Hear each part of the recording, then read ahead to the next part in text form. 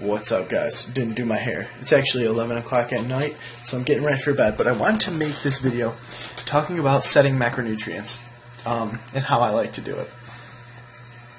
For me personally, I've been doing this for so long, so I have an idea of where my macros need to be and how my body reacts. I know personally that my body gets lean really fast on low fat and high carbs. That's just the way it works.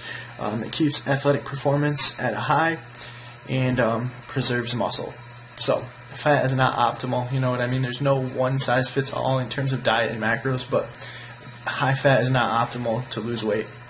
It's the most easily stored um, form of fat. So, um, you know, carbohydrates can be stored as fat, but it's less likely than triglycerides or dietary fat. So, I digress. So, you ultimately, the very first thing you want to do is find your maintenance. Um, there's no such thing really as a maintenance. It's always a floating target. Um, but you can get an idea of what it is. There's many calculators you can use, but this is the best way that I think you could do it for accuracy's sake. And it will automatically line up your macros for you. So I'm I have certain you know beliefs in terms of cutting and preserving muscle. Um, the very first thing I set is protein. That's usually between 0.7 and 1.5 grams per pound of body weight. But the best rule of thumb is just 1 gram per pound of body weight. Once you start getting to like 8% or so, I would bump up the protein a little bit.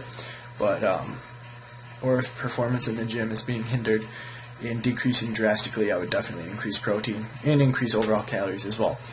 Um, then the next thing you set is the fat. We'll go over exactly what that should be. And then last is carbs because carbs are non essential yeah, they're your body's preferred source of energy, but you don't require carbohydrates. You can get carbs from gluconeogenesis, which is essentially the breakdown of proteins in converting into glucose, or you could get ketones, which would be from pretty much adipose tissue breaking into ketones. So, um, the very first thing you want to do is track your food for a week. So, track your weight your first day and all through the week. And we're going to look mainly at the average. Um, but we're going to say our person's 200 pounds, right? Days 1 through 5, he decided he was going to take in 60 grams of fat, 400 grams of carbs, and 200 grams of protein. So if you add up the calories, knowing that there's 4 kilocalories in a 1 gram of protein and carbohydrate and 9 kilocalories in a gram of fat, that gives us 2,940 calories for those five days. Day six and seven, he eats a little more. He has 95 grams of fat, 415 grams of carbs, and 230 grams of protein for a total of 3,435 calories. Now, what we want to do is, since we're trying to find the average, um, the average of this to give us our maintenance, we're going to add up all the calories for the days and that'll give us 21,610 total calories through the week. Now comes the interesting part of actually finding maintenance. So you take your total calories and divide by 7 because there's 7 days in a week. We're trying to find the maintenance. That'll be 3,087 kilocalories, roughly, to maintain your body weight.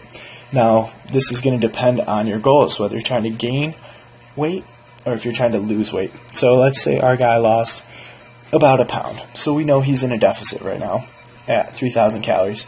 Typically, if you're trying to gain weight, you want to have between a 2 and 600 calorie surplus. And for a deficit, you want to be in like a 3 to 800 calorie deficit in order to lose weight.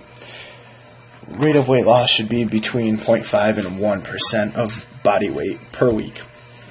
That'll maintain muscle, um, keep glycogen in training high, and just prevent muscle breakdown as much as possible. So, what we're going to do is the very first thing we set is protein. Um, this is the most real, like, important macro to really focus on when you're trying to cut or even gain weight too. Um, so we typically go from 0.7 to 1.5 grams per pound of body weight. I usually recommend just one gram per pound of body weight because 1.5 is kind of overkill, but for some people, whether they're enhanced or they're just genetically elite, I would just recommend an upper part of that threshold, maybe like 1.2 grams per pound, but one is good for this example. So that's going to be 200 grams of protein. Since there's 4 calories per gram of protein, that's going to give us 800 total calories. The next thing we're going to go ahead and set is fat. I like to see fat between 20 and 30% of total calories. Um, that just seems good for overall hormonal hormonal balance and just um, overall balance within the diet because you don't want an uneven diet. It's not sustainable. And to, on an extremely low fat diet, you're probably not going to be satiated much by food. You know, carbs are only so filling unless you're eating all vegetables and shit. So we take our total calories, so 3,087, and we're going to take 25% of that for fat. So between 20 and 30%, we'll go right in the midpoint at 25%. That's going to give us 772 calories from fat. And then there's 9 calories per gram of fat, so you divide 772 by 9. That's going to give us 86 grams of fat. So now we have our fat at 86 grams, our protein at 200 grams.